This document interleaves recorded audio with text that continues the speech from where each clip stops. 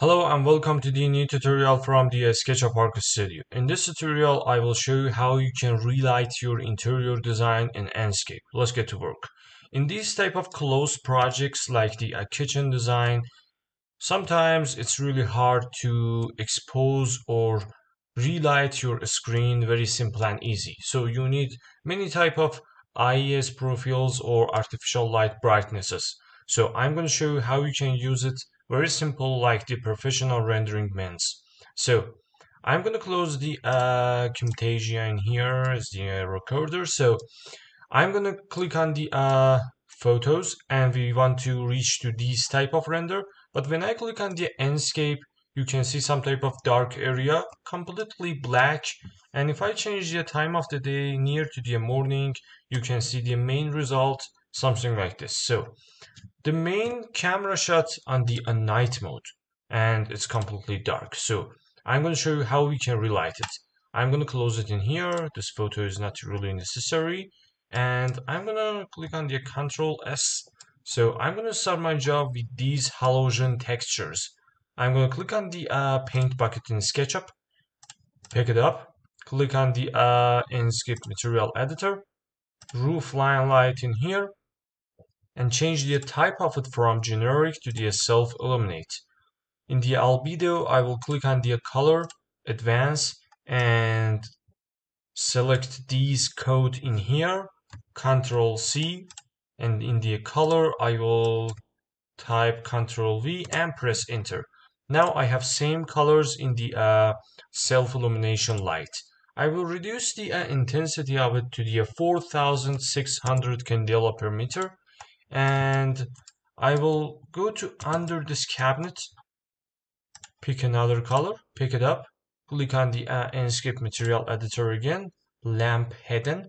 So I will click on it change it to the self illuminate and reduce it to the uh, 3300 candela per meter. I will take same action for the uh, color control C control V and press enter and everything is done. So now I'm going to click on the C1 scene in here, Control S, and I will click on the uh, Enscape object in here. So I need multi-type of spotlights, so I'm going to click on the spotlight in here and draw my first spotlight in this direction. Very simple and easy. So the main spotlight related to the Enscape most of the time work not really well so you need to click on the load IES profile to add some type of clean IES lights so I prefer to use number 16 as my main IES profile and click on the open and increase the uh, intensity power to the uh, 60 and close it. I will click on the sample paint, pick this texture up and add it to my light. So my light color is this type of creamy color in here. I will click on it, move it to the uh, center point of this halogen. And now time for taking multiple copies. So I'm going to click on the move in the SketchUp, press Ctrl on my keyboard and take some copies in some direction about 47. So I will select both of them and take multiple copies to the right side in some direction about 50 centimeter. And I need to repeat it for the four times and now my copy is complete. So I need another copy at the left side in here center of my object like that. Click on it and move it to this place and now select both of them and repeat the uh, action in this part of my job. Very simple for the four times. Now the backlight and support light is done for us. Now I will click on one of them in here and take another copy to the uh, main point of my kitchen the center point. So I take this copy but I want to create some changes between these lights and these lights in here. So I can click on this one. So you know that lights in, SketchUp or Enscape is the component. So you can right click and convert it to the unique component. So I'm going to click on the make unique and now it's completely have some different type of properties and information for itself. So move option and take some multiple copies about four times and repeat these action for the left side like that. And finally I need these two lights for the uh, these two halogens.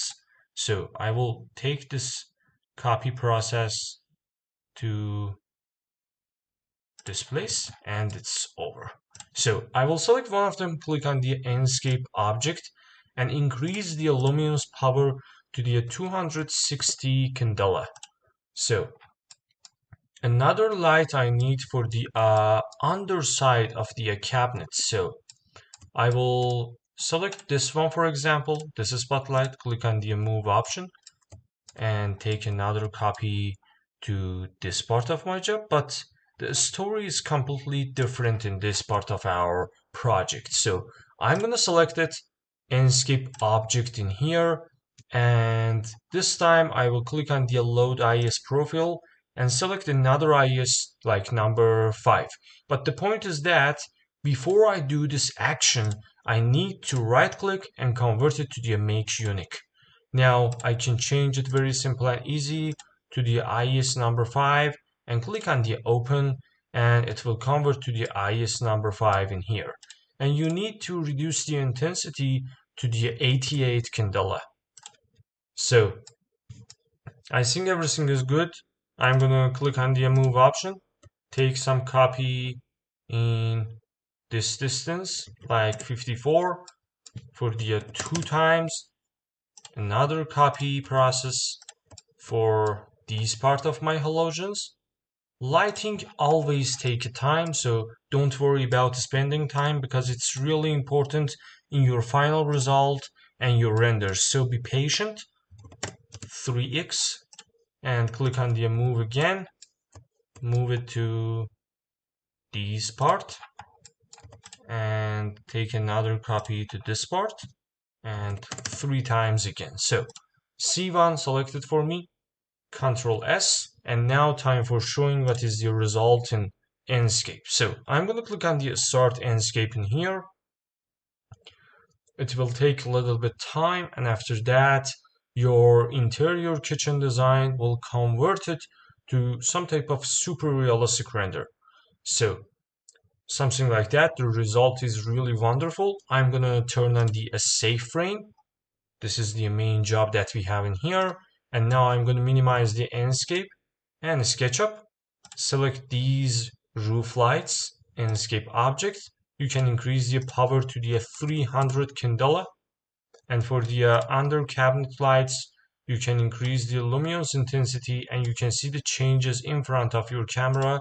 Very simple and easy. I think 400 candela is enough or you can use some type of medium luminance 250 or I think 100 is enough. So it's about 144 and now it's much better. So I can select these support lights and increase the intensity to see what really happened and you can see it's really good.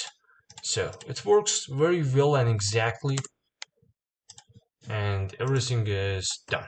So this is the render that you created in Enscape, very simple and easy, only with a few tips and works.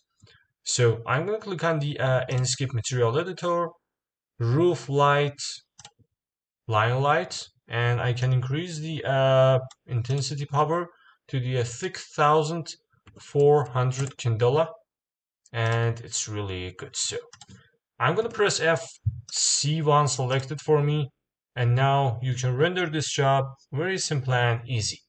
Before you render your final shot you can click on the uh, visual setting and increase the exposure to the uh, 56 and in the image bar you can control your color temperature.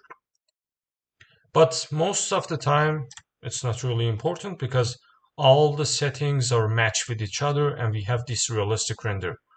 and this is the final result. I'm going to click on the render and it will render for me. If you like this tutorial, please like and subscribe our YouTube channel. Thanks for watching, thanks for support, and goodbye.